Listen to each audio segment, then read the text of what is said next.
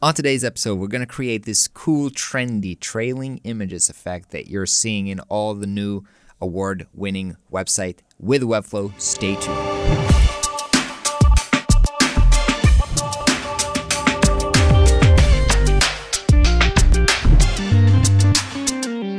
Hey everybody, Ran Segall here. What's up? And welcome back to another Webflow Weekly. I would say Webflow Weekly, but we we're not regularly posting these Webflow videos, but today, recently we've shown a lot of kind of award-winning website that we're using this trailing image effect, and I wanted to show you how simple it is to actually use it within Webflow. So the first thing that you'd want to know about all these cool effects is that a lot of them are coming from this website, which is called Cod Drops they're basically giving here the script and a lot of people are using them and so you'll see these kind of effects trending. So that's what we did. We actually took the code from here and we've used it within a Webflow website and here's the result. Basically it looks just the same and let me actually start from the end. We've created a clonable project here in Webflow so you can check out the link in the description. You can just go ahead and clone this. But let me go ahead and show you actually how to use this yourself.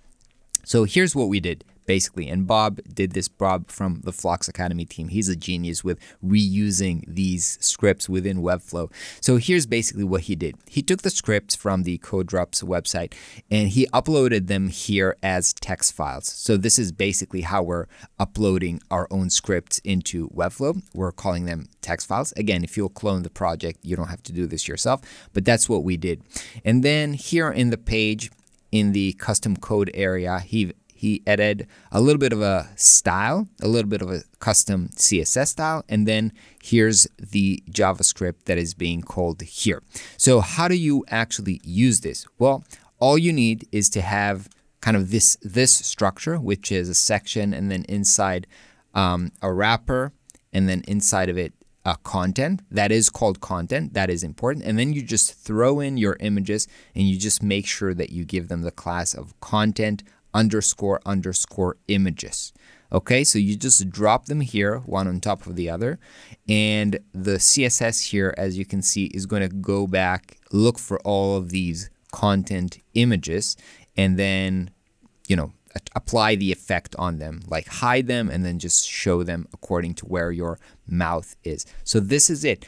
All you do is make sure that you maintain this structure and this class effect and the effect will work on your website. So I hope you find this useful. You can clone this on project and use it. Do not overdo this because this effect is now all over the place. So make sure you're using it in a smart, creative way. Um, and also make sure that you revisit Codrops it's really cool website to see kind of an experimental codes and as you've seen it's not that difficult to put them inside of you know, of Webflow. Um, however, if you're not sure about how to use custom code and all that stuff, that's obviously not super necessary when you're using uh, Webflow. You can create a lot of these effects if you're using the Webflow's native interactions creatively. And so let me know what you thought about this video. If you're not sure if you want to dive into Webflow or not, make sure we have a free training, also linked below this video, um, where I'm sharing how it made a difference in my freelance business as a web designer. So make sure you check that out, and I'll see you on the next video. Bye bye.